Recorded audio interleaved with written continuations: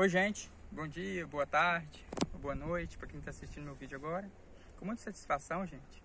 Com algum tempo, quando trazo os vídeos para mostrar para vocês. E hoje estou trazendo, estou aqui no Cerrado. Esse aqui é um cerrado de campo, mais aberto mesmo. E eu encontrei uma planta para mostrar para vocês aqui, viu gente? Ela dá uma batata, uma batata medicinal. Muito boa para a saúde.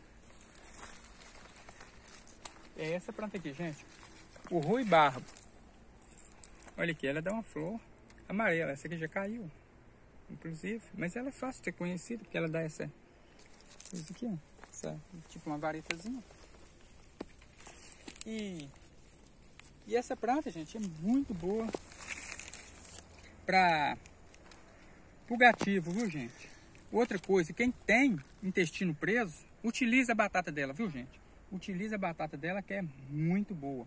Eu garanto para vocês. Então, quem tem intestino preso, seja quem for, pode usar. Ela também, gente, é conhecida também como é, ba também como o junco do campo.